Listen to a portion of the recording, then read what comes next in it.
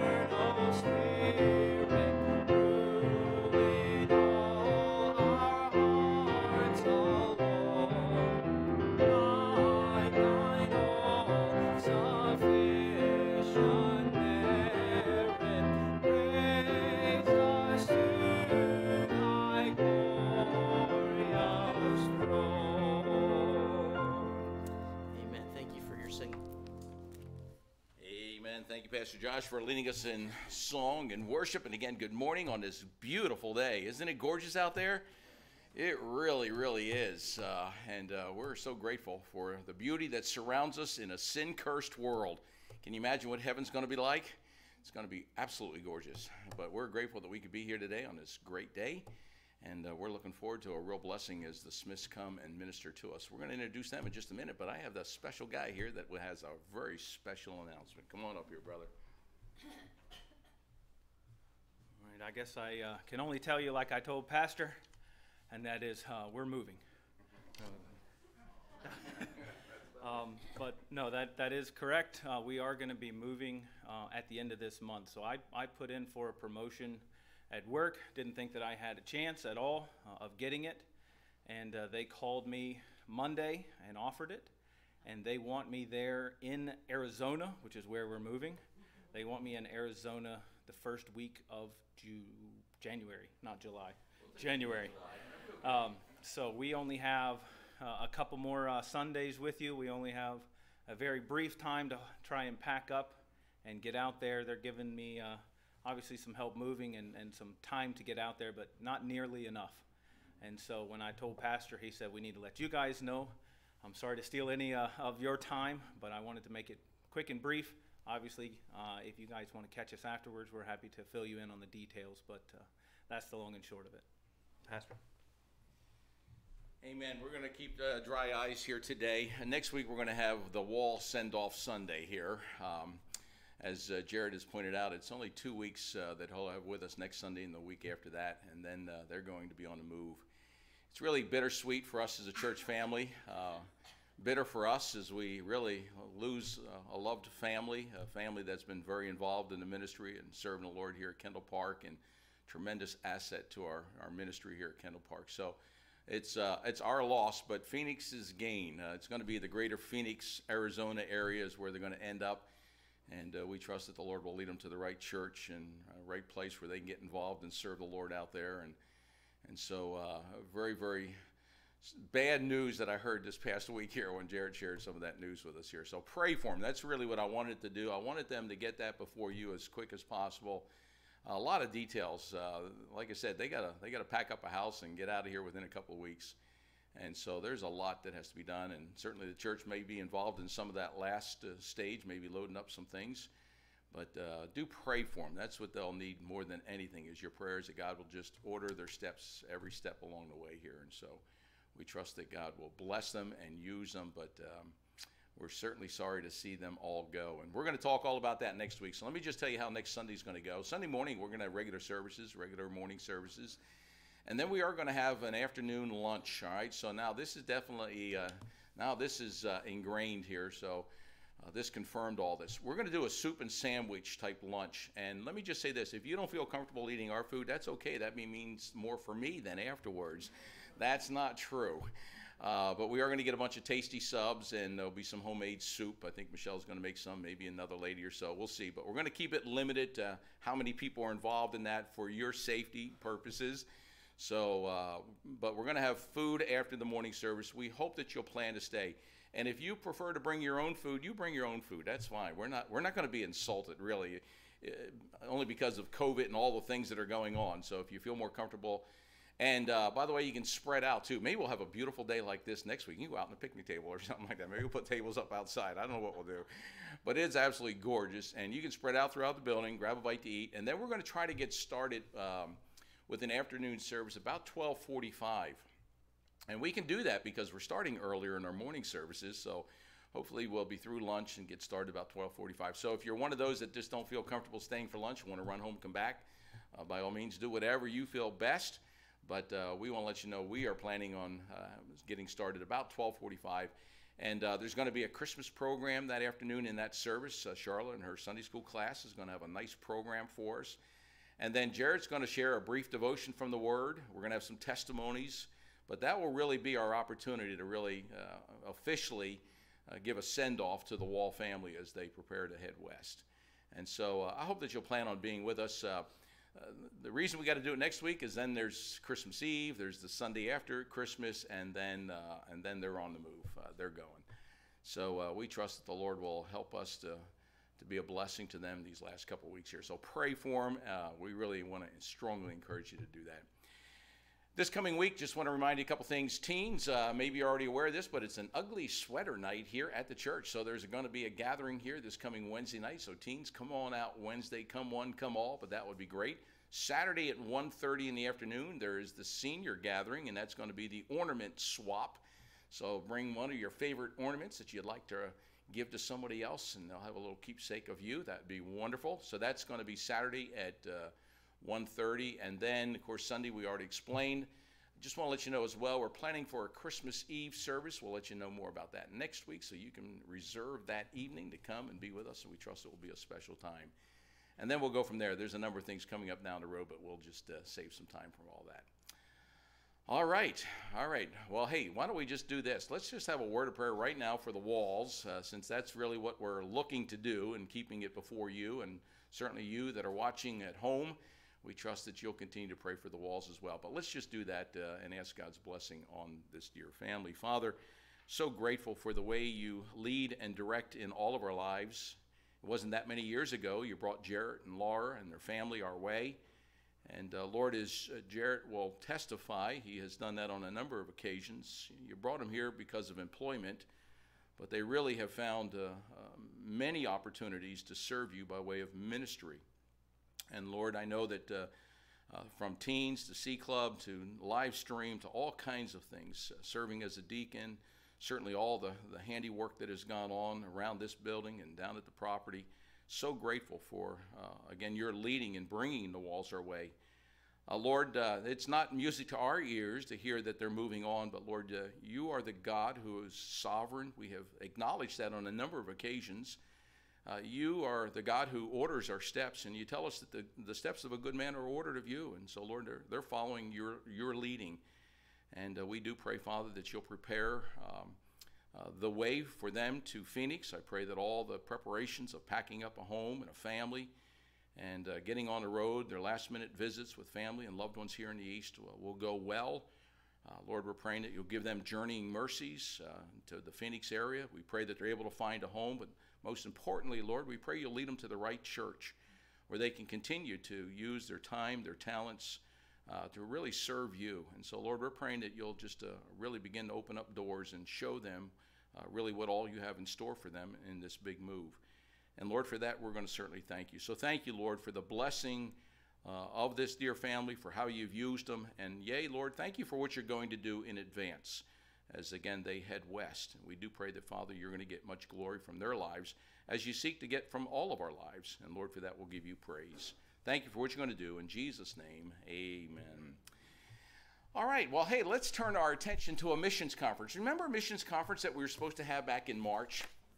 I think we had one meeting. And then this good old COVID 19 kind of swept on in and shut us on down. But we had this family scheduled. We had Matt and Amanda and their five children scheduled to come. I think it was about the 22nd of March, it was. And uh, we just weren't able to do that. And um, Matt can maybe testify as well. A number of meetings were canceled because of COVID 19. It wasn't limited to our church, all over the country. Uh, but God has blessed this dear family in tremendous ways. They're about 92% of the support. Only a few more meetings to go, and they are planning to get to Colombia here real soon. Uh, I think they got language school in there for a few months down in Texas, and then they'll all be off to Colombia. But you can give us all the details. But we're grateful that when we canceled that meeting, he had an open date, and uh, this is the date. This is the day that the Lord has ordered for them to come and be with us. And so we're grateful uh, that Matt and Amanda could carve out a little bit of time and spend some time with us here today. We had a, a great day yesterday just getting to know uh, this couple and their wonderful children. We enjoy kids, and, and so I hope that you'll get to meet them all as well. Maybe you'll have them all stand up here as well, wherever they are. I think a couple of them maybe down in the nursery, even, I, I guess, or so. Matt, you come and introduce them, maybe yourself, your video, whatever you want to do, and uh, however you're going to do this. I think we're going to go to a video here real soon as well. Sure I do this right. Yeah, it's all right. All right. Um, I am Matt Smith. As you've you've heard, my wife Amanda is on the front here, and then uh, we have two kids that have already found friends, and so they're sitting out there. Timothy, can you raise your hand? Stand up. Why don't you stand up? Go ahead and stand up. All right, Bethany, you're already standing up. Why don't you stand up all the way? Okay, why don't you stand? There you go. That's Bethany up there, and uh, they are two oldest. So Timothy's six, Bethany's four. And then we have a three year old Hannah, two year old Abby, and one year old Samuel uh, downstairs, I guess. So, anyway, they're, they're around here and they are a real blessing. And we're excited to be going to the country of Colombia, South America. and uh, excited, especially to be with you all. And um, and my heart my heart goes out to you all and to Brother Wall. Um, byes are not fun. They just aren't. There's just no way around it. Our kids, every time we say bye at a church, uh, there's especially one of them that is a very difficult thing. And so I imagine that we're going to have some tears when we say goodbye, but they're having some, a lot of heart, heart tugs right now. I know, and you are too. So we'll be praying for you guys and excited to see what God's going to do for all of you. And so, anyway, but uh, anyway, we're, we're going to the country of Colombia, South America. Let me just throw this out there. I heard you have somebody that comes to church here that is from Colombia, but uh, let me just ask has anybody here been down to Colombia, South America? Nobody here? Nobody? All right. Okay. Who would like to come down? Your pastor. Amen. All right. You guys can come anytime you want. So even before we get there, if you want. But uh, anyway, it, it's a it's a beautiful country and we would like to take as many people as we can with us. There's only one problem is we can't call anybody. We've been trying to do that all over the United States, and it just doesn't work that way. And so, uh, anyway, but it's a tremendously needy country. You're going to get to see a little bit in a second here on the video. Uh, country of 50 million people. Um, and uh, as far as we've heard from national pastors there, that are there, there's less than 60 independent Baptist churches in the country. Now, again, I know people don't know every single church that's out there. But uh, from what we understand, less than 60 independent Baptist churches in the country, and uh, just a tremendous need for, for the, the gospel, for good Bible preaching churches. And, uh, and so our, our desire is to go down and be involved in church planting. And uh, again, we, we look at it from this end with all the plans and all the dreams, and we don't know how God's going to allow all of that to come to pass. But our desire is to begin in the city of La Ceja. Uh, La Ceja is a city of about 80, 85,000 people an hour and a half outside of the second largest city in country, the city of Medellin. Anybody hear the name Pablo Escobar?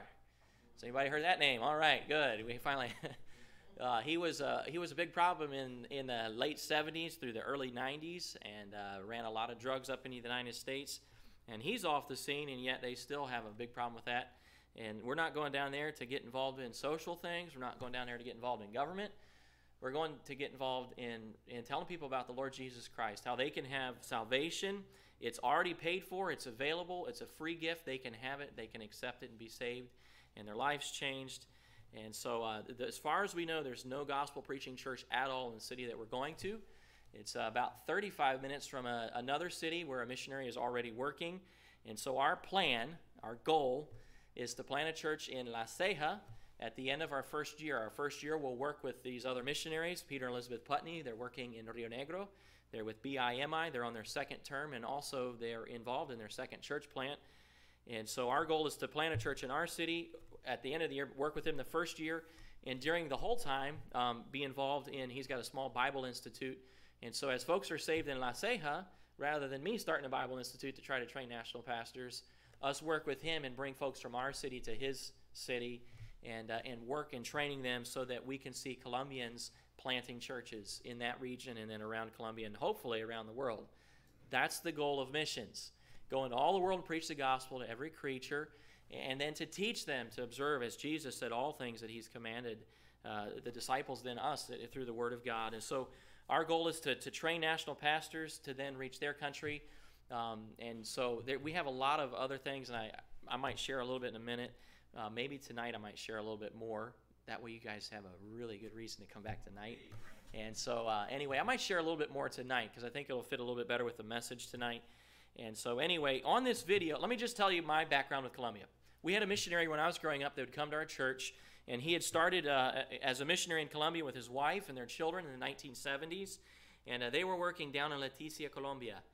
And uh, that's the, it's a remote area down the Amazon basin of Colombia. He'd gone as a missionary pilot but very soon after they got there, the situation got so dangerous that he could no longer fly.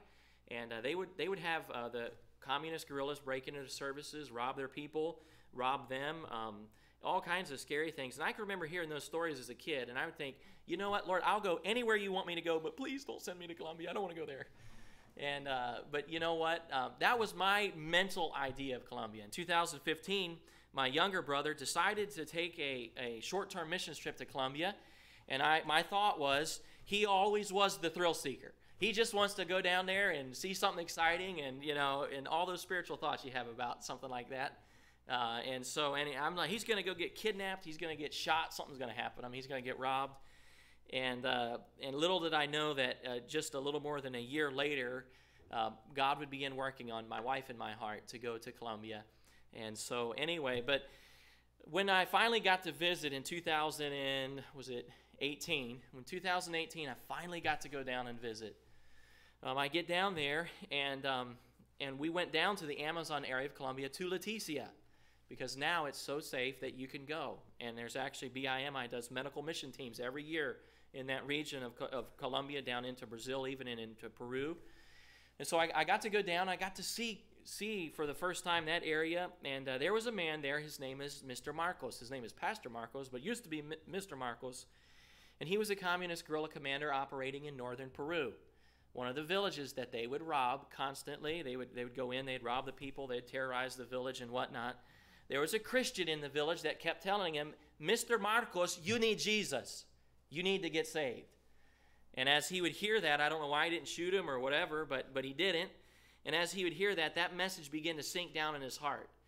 And he began to wonder, who is this Jesus and what does it mean to be saved? And so he began to investigate. And it wasn't long that he came to trust Christ as his Savior. And a few of his men, I believe it was 10 of his men, trusted Christ as their Savior as well. And he had a problem. You can't be a communist guerrilla commander and be a follower of the Lord Jesus Christ. And so he fled up into the weirdest of all places, into Colombia and he settled in the Leticia area of Colombia, and he began to be involved in church planting. He's on, fifth, on his fifth church plant in that area of uh, southern Colombia and northern Peru and Brazil and whatnot. And uh, it was a privilege to just get to walk through the jungle with him, to see the churches that he started, to get to meet um, national pastors, young guys that he's working with, he's trying to train them to then uh, be the pastors in those little villages, and to realize, you know what, if God can do that with Mr. Marcos, there's not, there's not a person that God can't do that with all across Colombia, all across the world. And you know what? I don't have to be afraid or scared or, or wonder. I just have to go where God's called me and then allow Him to use me as He wants and to be able to see folks come to know Christ as Savior. And So as you see this video, a lot of it is from that area of Colombia, down in the Amazon area. And there's a short little guy walking down the street next to me. That's Mr. Marcos, Pastor Marcos. I think in one of the villages, it was a Ticuna village. In one of the Ticuna villages, I had my arm around him. And uh, so, anyway, that's Pastor Marcos, and I hope it'll be a blessing to you.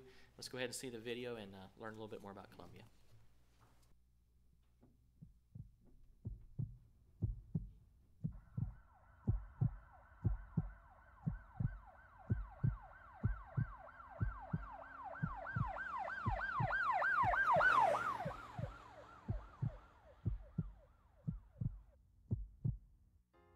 Colombia. What does the word mean to you? For many Americans, the word brings to mind the problem of drug production, cartels, and drug trafficking. For tourists and visitors, Colombia has posed the threat of kidnappings and extortion for decades. To many Colombians, it has meant the loss of family and friends to communist guerrillas who have terrorized their country for over 60 years. Today, unknown to many Americans, Colombia has a very large population of internally displaced people and suffers tremendous poverty. As heartbreaking as these many problems are, Colombia's most serious problem is by far spiritual darkness. Due to its long history of violence and instability, missionary work has suffered, and Colombia remains one of the least evangelized countries in all of Latin America missionaries in Colombia continue to encounter oppressive spiritual darkness. Hundreds of cities and towns across Colombia have been void of any gospel witness and have been under Satan's dominating control for centuries. Some 90% of Colombians profess Roman Catholicism as their religion, while many others follow various cults and false religions. Only a small percentage of Colombians truly understand the gospel and have sound Bible preaching churches to attend. Colombia desperately needs church planting missionaries. Thankfully, God has opened the door wide to reach Colombia with the gospel of our Lord Jesus Christ. Through recent negotiations between the Colombian government and guerrilla groups, violence and crime have reached unprecedented lows. travel outside of the major cities is now much safer, with kidnappings having fallen dramatically.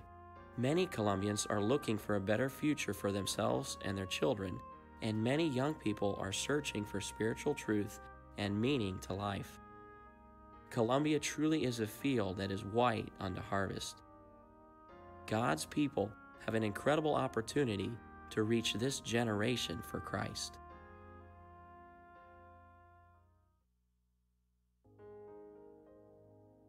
Hello, we're the Smith family. God has called us, Matt and Amanda, Timothy, Bethany, Hannah, and Abigail, to be church planting missionaries in Colombia, South America. We are sent out of Crossroads Baptist Church in Columbus, North Carolina, and are serving with Baptist World Mission. In 2016, while working as an account manager for a landscape company and raising our children for the Lord, God began burdening our hearts to pray that He would send more laborers to reach the world with the gospel. We decided to pray in our family devotions for different countries around the world and to find missionaries in those countries to pray for. When we reached Colombia and learned about its needs, we were burdened for the Colombian people. That led us on a journey to seek God's will for our family as to whether or not God wanted us to go. After much prayer, God allowed me to visit Colombia in March of 2018. Colombia, located at the top of South America, borders Panama, Venezuela, Brazil, Peru, and Ecuador, as well as both the Caribbean and Pacific Oceans. Its position to the equator and its large annual rainfall help make Colombia rich in its production of cut flowers. Colombia is also well known for its exports of coffee, emeralds, and gold. However, in spite of Colombia's natural beauty, I was most overwhelmed by its spiritual condition. The average Colombian lives in spiritual darkness with sin and sadness clearly seen. In contrast, the Colombian believers were such a joy to meet. Their desire to see their country won with the gospel was contagious.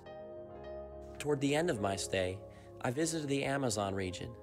This area is so remote that it is difficult even to obtain Bibles and other gospel literature. There are still many unreached people groups scattered throughout the Amazon region and other remote areas of Colombia. These people have been landlocked by communist guerrillas, and few have dared to take the gospel into their regions.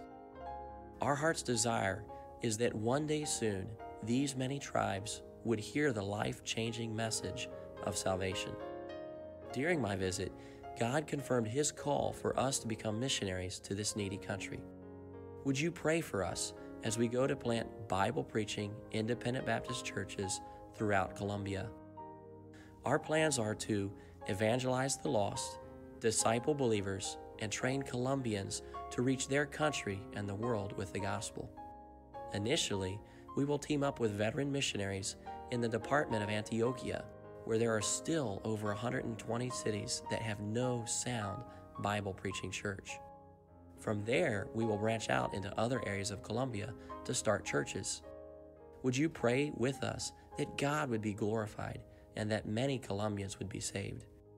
Would you pray that God would send many more laborers to Colombia? What does Colombia mean to you?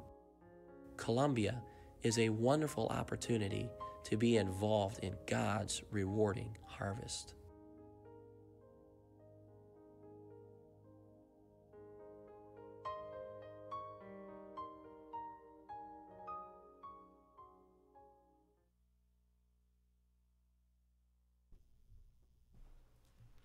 Appreciate that. I'm looking forward to hearing more of the burden of the Smiths as we progress in our service and even tonight. What makes a missionary leave the comfort of home and the joy of family to go to another nation and preach the gospel? I think there's even a greater question. While that sacrifice is great, uh, the greater question is why would the God of the universe leave his throne and the splendors of heaven to come to this world? Thou didst leave thy throne and thy kingly crown when thou camest to earth for me. But in Bethlehem's home was there found no room for thy holy nativity. I think the reason why a missionary leaves and why Christ left is the same to seek and to save the lost. And so I would uh, ask you to take your hymn books, turn to hymn number 101 as we sing about that first leaving. Thou didst leave thy throne. Let's stand together as we sing hymn number 101.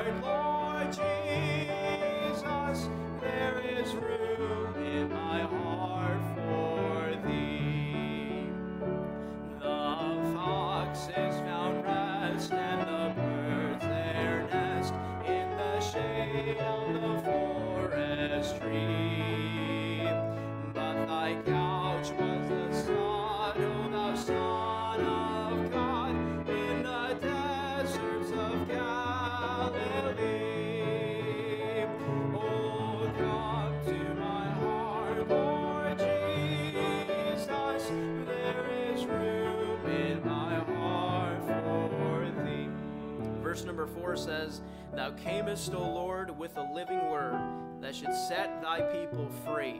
But here was a response. But with mocking scorn and with crown of thorn, they bore thee to Calvary. And why did he do that? For our sins, for the sins of mankind, so they could be saved. Let's sing on that fifth verse now, a glorious verse. When the heavens shall ring and the angels sing. When the heavens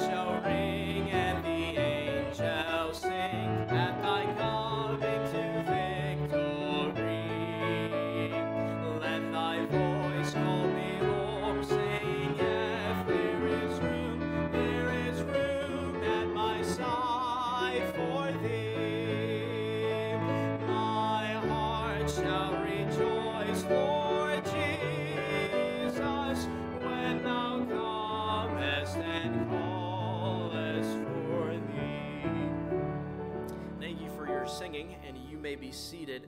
The Smith family is going to come, and they're going to sing a special, uh, special song entitled "No One Ever Cared for Me Like Jesus." I know this song will be a blessing to you.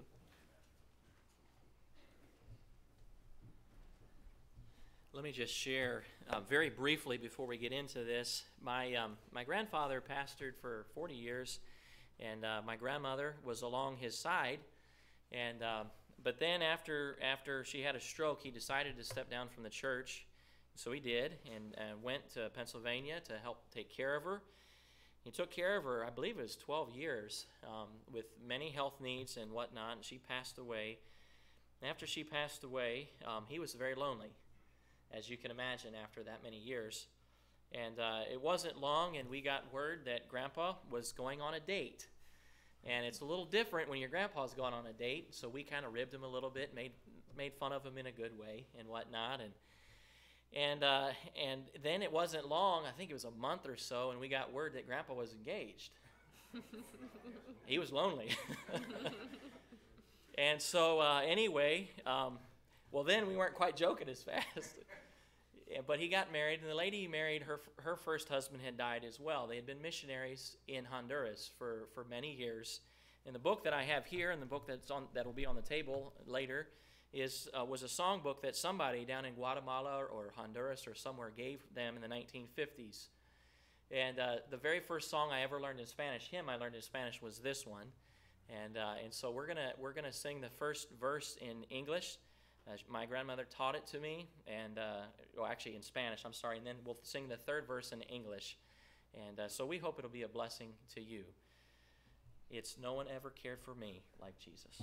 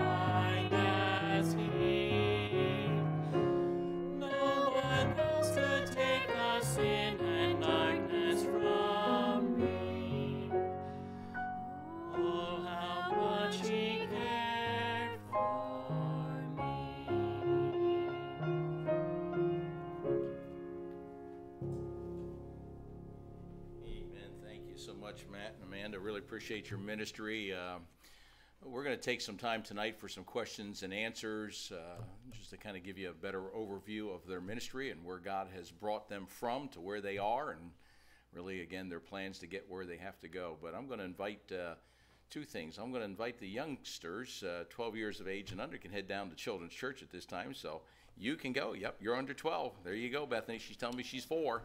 She's eligible. She fits into that category. So praise the Lord. Amen. Lord bless them as they go. I'm going to invite Matt. Come on back and share the Word of God with us here today. Lord bless you as you minister to us. Praise Appreciate the it. Amen. I like a pastor. I can. it's uh, we're living in different times, aren't we?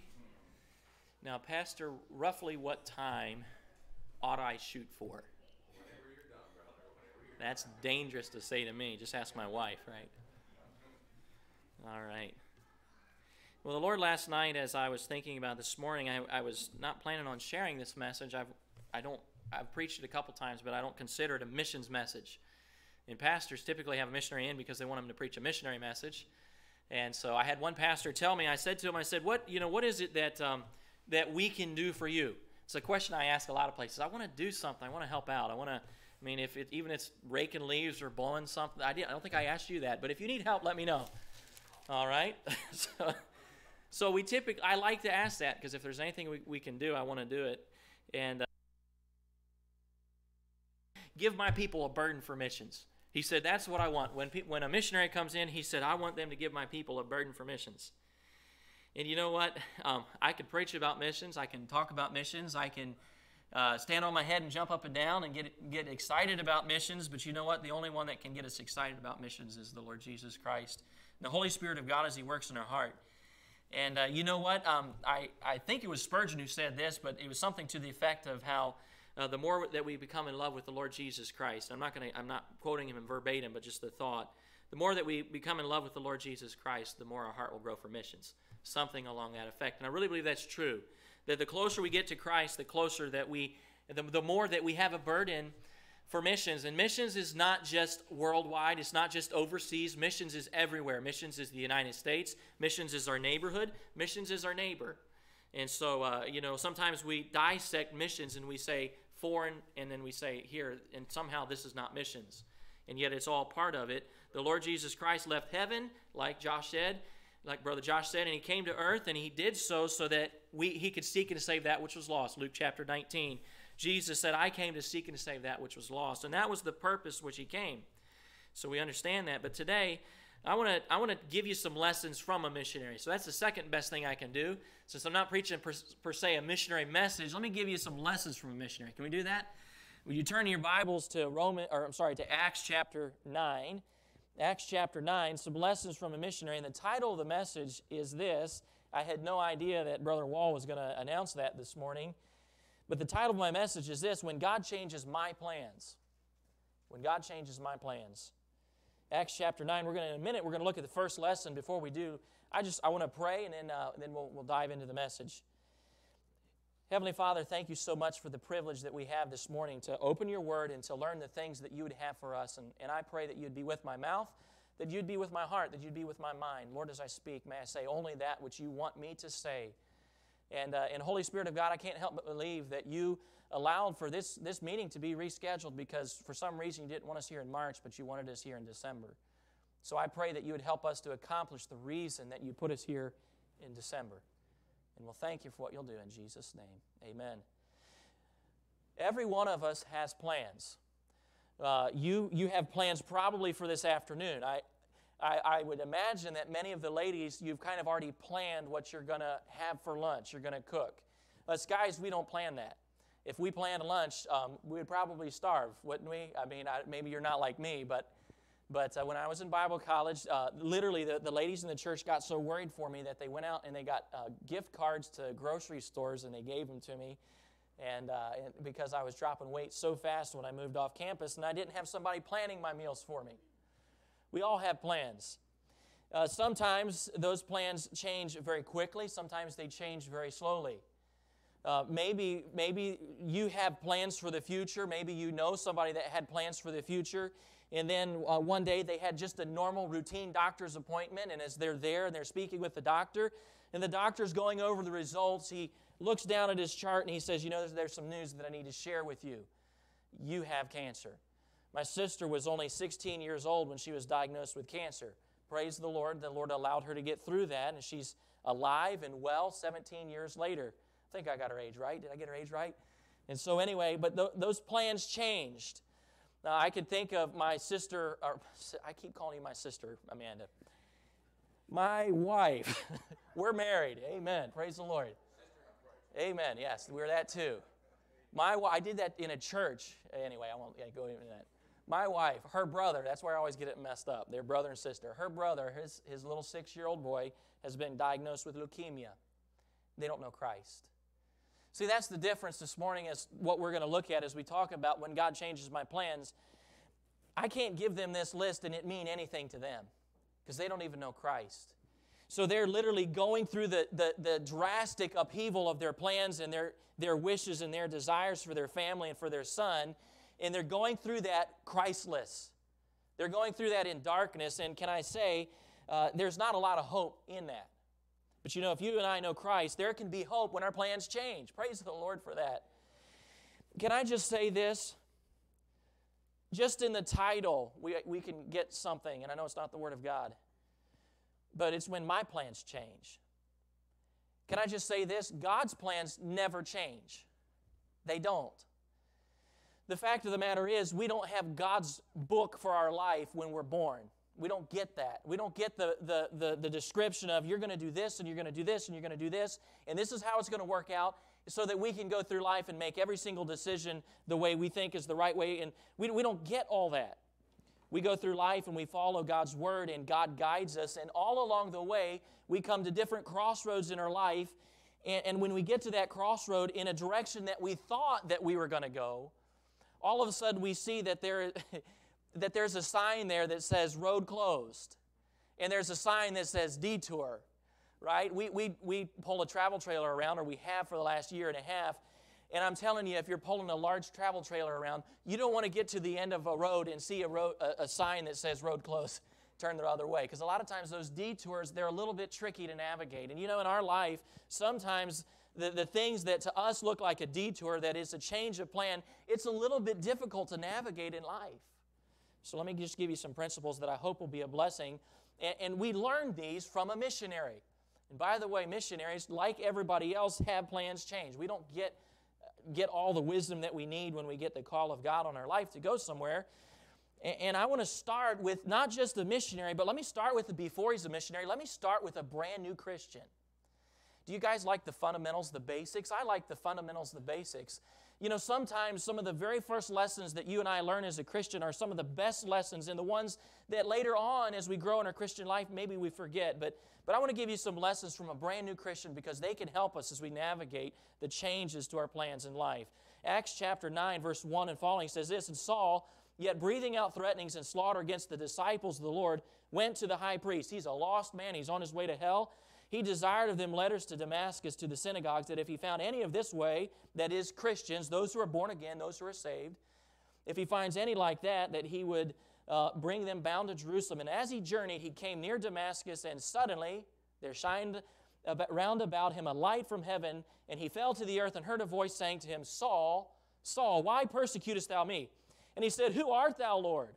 And the Lord said, I am Jesus whom thou persecutest. It's hard for thee to kick against the pricks. And here's where we get our first lesson. He, trembling and astonished, said, Lord, what wilt thou have me to do? And the Lord said to him, Arise, go into the city, and it shall be told thee what thou must do.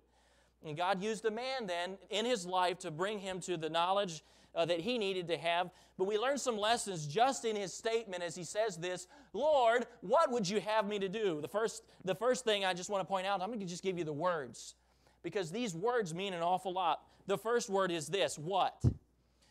Anything, whatever. Please just tell me what. Wilt, Lord, your will, your desire, your plans, your wishes for my life. Yours. And that thou, you, not me, this is God's will for my life. This is what God has planned for me. This is what God has for my, planned for my family and for my church and for my friends. This is His, not mine. And then these two words, have me. Eh, this is something personal. He says, Lord, what would you have me to do? Not my brother, not my cousin, not my friend. Lord, this is what you want for me. And God has a specific and God has an individual plan for each of you. He has a will. He has things that He's doing in and with and through you. And by the way, this, is, this ought to be exciting for every Christian because God doesn't just work in the life of somebody in full time ministry. You see, the, the preacher, the pastor, I'm going to move this down. I think I'm, I keep getting something on there. Is that better? Is that okay? Okay. But, but, but sometimes we, we kind of get the idea because the pastor is the one that stands up or the evangelist is the one that comes and he preaches and, and maybe the missionary comes and they begin to tell all the things that God's doing to try to be an encouragement and a help and a blessing and to illustrate. And we could come to the, the conclusion, well, God works in their life, but God doesn't work in my life like that. But no, God works in the life of every single Christian, of every single believer, because He has things He's wanting to do in and with and through us for His great glory, and so He can seek and save that which was lost. So the lessons that we have are this number one, decide to do whatever God shows you to do.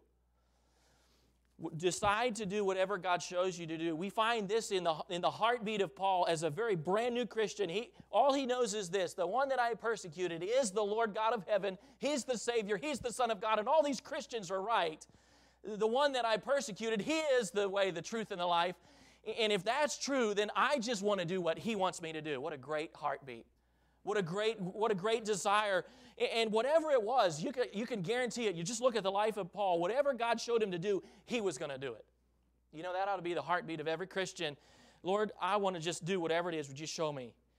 In his 19th patrol, Lieutenant, Lieutenant Clebe McClary, a member of the 1st Marine Division, 1st Reconnaissance Battalion, was helicoptered in there in Vietnam uh, along with his team of 13 Marines behind the enemy lines in the Quang Duc Valley area of Vietnam. They were sent to prepare the way for a mammoth operation that was to involve several thousand U.S. troops.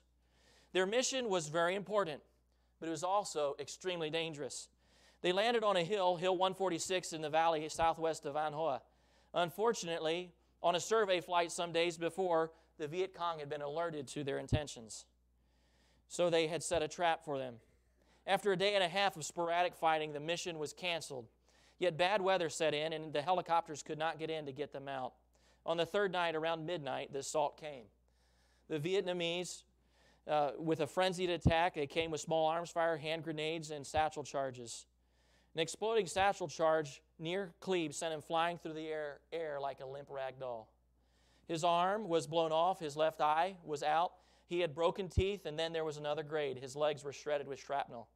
But Clebe was still alive. Thank God he was still alive because Clebe didn't know Christ as his Savior.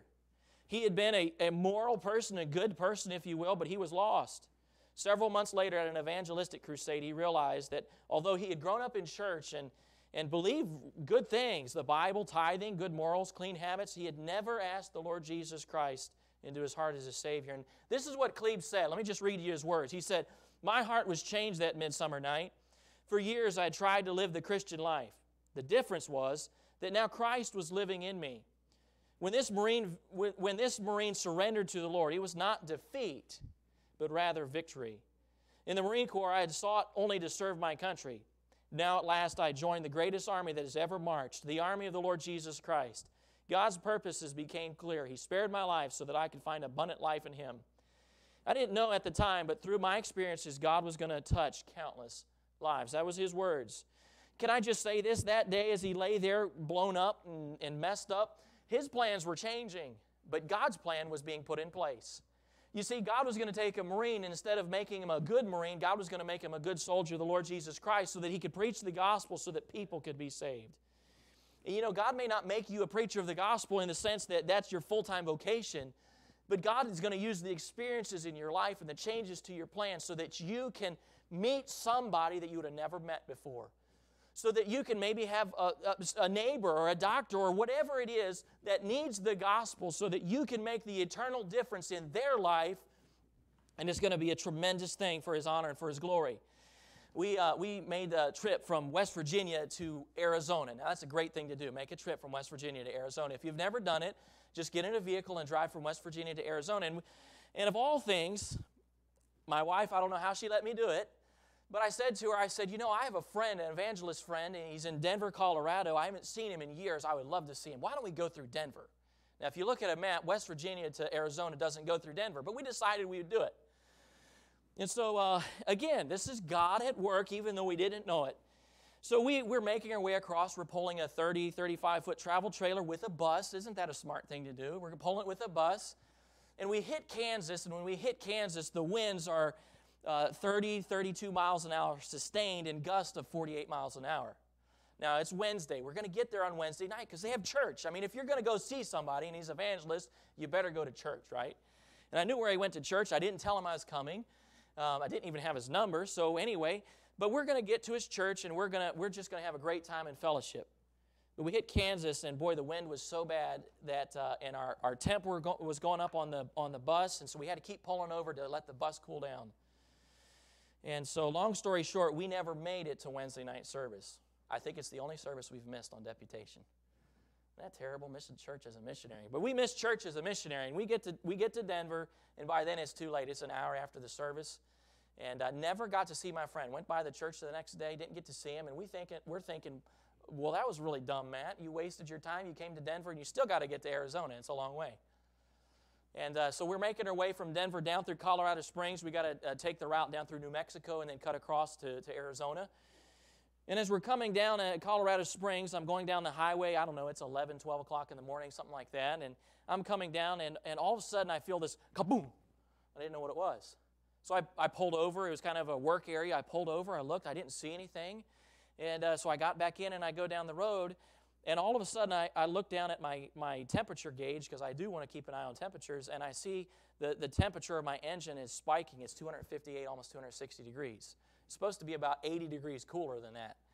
And I knew something was wrong. And I went to pull off to the side of the road. And when I went to pull off to the side of the road, I realized I had no power steering.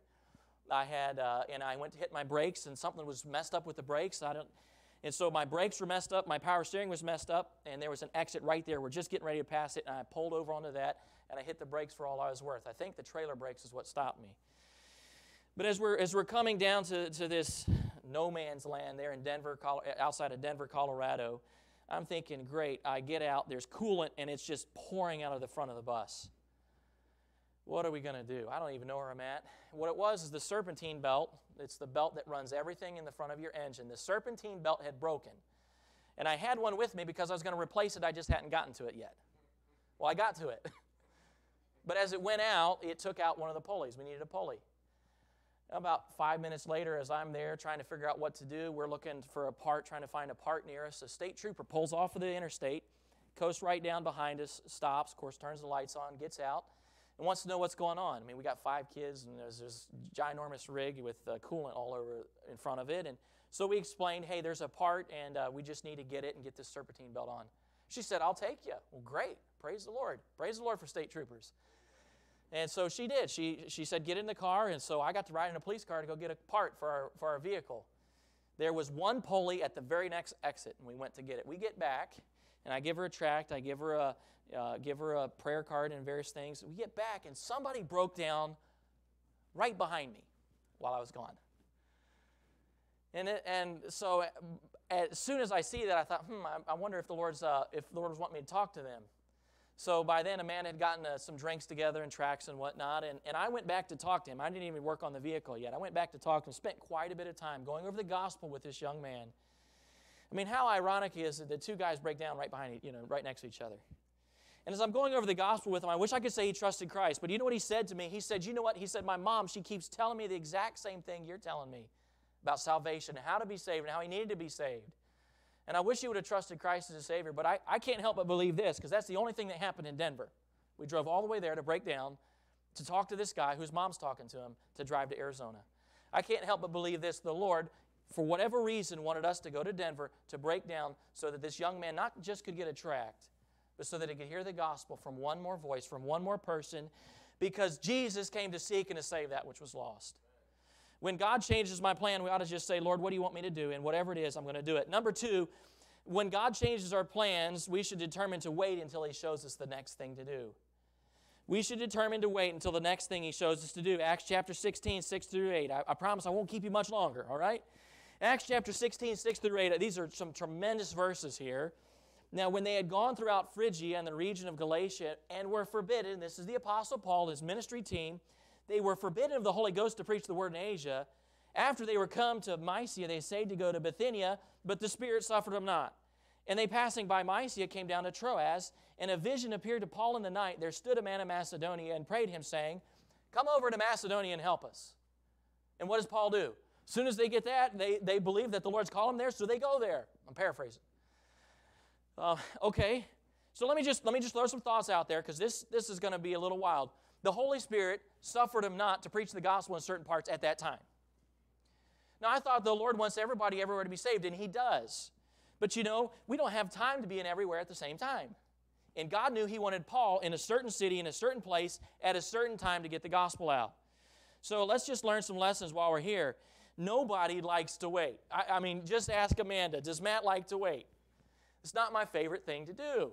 We don't like to wait.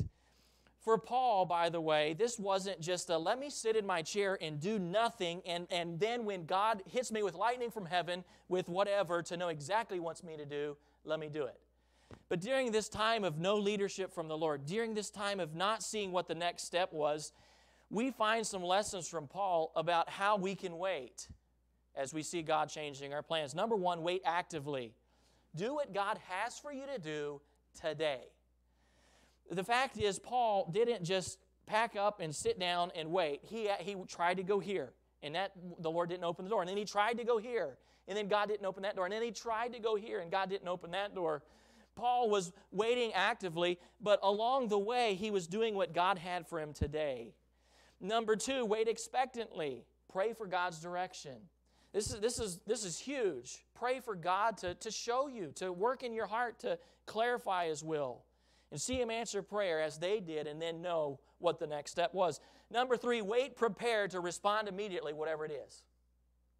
Many of us, uh, we get maybe, think of Gideon. I mean, God kind of told him what to do, didn't He? But He said, okay, Lord, let me spend at least two nights and throw some, some fleeces out there just to make sure. I mean, he knew before the fleeces what, however you say that, fleece says, what God wanted him to do, and yet he still had to throw two of them out there to know. And thankfully, God in his patience was patient with him. But he could have gone on the first day when he knew what God wanted him to do. Wait prepared, respond immediately to what God wants you to do. But let me just let me just throw this there. Um, don't sink. We ought to sink our roots in and plant and bloom where God puts us. Don't get me wrong. We ought to do that. But some people, they put those roots in, and man, I'm telling you what, it's like a dandelion. They sink that tap root down so far into the ground, and they're like, Lord, don't you ever move me. Don't you ever pop my bubble. Don't you ever change my plans. Don't you ever make anything different here. I'm not going to do it. God doesn't want us that way. He wants us like, have you ever planted those pansies in the wintertime? And you have it in the little thing, and it's beautiful. You buy it from the store, and I mean, they've got that thing so pumped full of fertilizer. You put it out in your yard, and you get it home and it's got like 100 blooms on it, and the next week they've all fallen off, right? But anyway, you get that pansy and you, and, you, and you pop it out of the little container there, and it's got all those roots, and they're nice and they're beautiful and, and all that. And it's got roots, but it was created to be able to move where the, the designer wants to put it in the landscape. That's the way we're to be. We're, we ought to be in our church and we ought to be praying constantly, Lord, I want to I want to bloom in my church, but Lord, if you want me to serve in another area in my church, would you help me to just thrive there? Lord, would you show me areas that I can increase in my ability to serve you? Lord, I don't want to be a stagnant Christian. I want to be a Christian that's growing and being used by you and serving you and, and blooming for you here in this church. The, the next lesson is determined to rejoice no matter the circumstances. Acts chapter 16, 14 through, through 25. You have, I'm just going to summarize it here. You have the Apostle Paul and you have his ministry team, and they, and they go to Philippi, and what happens? They get thrown into jail. And when they get thrown into jail, what happens at midnight? Phil, you guys get, we, could, we could talk here. I'm the missionary. I don't know what you guys do here. What happens at midnight? I mean, they got a praise service going on there, and it's not these modern ones. It's a, it is a sing praise to the Lord for what He's done for salvation and whatever. And they're there in the prison and singing glory to God. And can I just ask you this question? How in the world could somebody that just got beaten up and thrown in jail be singing praises to the Lord? Well, he could do it because he realized it was God that was in control. God was in control of every circumstance of his life, and if God was in, the, in control, then what do they need to worry about? By the way, it says they prayed and sang praises to God. That's the thing. Many times we have something happen in our life, and, and, and instead of praying, we go call our friends and we say, You wouldn't believe what happened. But we need to take it to the Lord first. We need to pray. And then as we pray, we see this sweet peace of God spoken to our hearts and our lives, and we're encouraged and we're able to then go forward for His glory. I was at Pensacola Christian College, end of my first year. It was two days before finals, and I had an infection in my leg. I, I thought it was getting better. Well, I thought it was going to get better because I was on medicine, so it, that's what happens. You take medicine, you get well. But it wasn't, and they sent me to the hospital. I got to the hospital two days before finals, and uh, and they immediately called in a surgeon. The surgeon looks down at me and he begins to tell me all the things that they're going to do. We're going to elevate your leg. We're going to, have to do surgery, elevate your leg, have wet to dry compresses, yada, yada, yada. And I'm thinking, and I asked him, How long is that going to take? I have finals. And he looked down at me like I was an idiot and he said, It's going to, as long as it takes. And then he said these words that, that really got a hold of an 18 year old kid's mind We're going to try to save your leg in your life. You know what? That threw me through a loop thousand miles from home, I called my dad and I said to dad, I, and I was pretty, pretty uh, scared about it. I said to dad, and I began to tell him what happened. You know what my dad said to me? He said, Matt, he said, Can we pray together? I said, Yeah, dad, that'd be great. So there on the phone, my dad began to pray that the Lord would give grace, the Lord would give help, and the doctor's wisdom. And you know what came over my heart? It was a peace in the midst of a storm, the storm that was going on and raging in my heart. And you know what? After that, I was okay. The circumstances didn't change. I still went through surgery. I was still in the hospital a week, and it was still not fun. But you know what? The difference was we had taken it to the Lord, and the peace of God that passeth all understanding was able to keep my heart and mind through Christ Jesus. Run into his presence, Philippians 4 6. Be careful for nothing. And I just quoted that. But in everything by prayer and supplication with thanksgiving, let your requests be made known to God. Number three, rest in his promises and protection. Philippians 4 7. The peace of God that passeth all, which surpasseth all understanding shall keep your hearts and minds through Christ Jesus. You know what? God's in control. We need to remember that. We need to run to His presence and then we need to rest in the protection that He gives. Last point's this, and I promise you I'm done. Determined to run the entire race no matter the cost. Determined to run the entire race no matter the cost. It's not time when plans change. It's not time when things are different. It's not time to throw in the towel and say, well, you know, I didn't plan on this. It's time to run to God's presence and protection. It's time to trust His promises and then continue to forge ahead for the glory of God. 2 Timothy 4 6 through 8. You'll probably be there before me. I'm sorry. For I am now ready to be offered, and the time of my departure is at hand. This is the Apostle Paul. I have fought a good fight. I have finished my course, I have kept the faith. Henceforth there is laid up for me a crown of righteousness, which the Lord, the righteous judge, shall give me at that day. And not to me only, but unto all them also that love his appearing. Let me just remind you, as the Apostle Paul is reaching the end of his life here, and he's sitting there in prison, and it's not going to be long, and he's probably going to be beheaded. That's what we believe happened to him. But as he's sitting there at the end of his life, his plans had changed over and over again through his life. I mean, can you imagine getting thrown, uh, stones thrown at you, getting stoned to death, and then getting up after it and going on for serving and serve the Lord?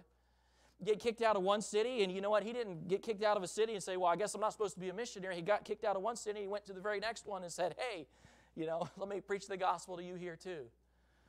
The Apostle Paul, throughout his life, constantly was going through a time when there was a change of his plans, and yet he realized God's in control and you know what? I'm just going to continue to faithfully do what God's called me to do until the day He takes me home. And when He was able to reach the end of His life, He was able to say this I've fought a good fight. I've finished my course. I've kept the faith. How about you? How are you fighting? Are you winning? When God changes your plan, just remember He's in control.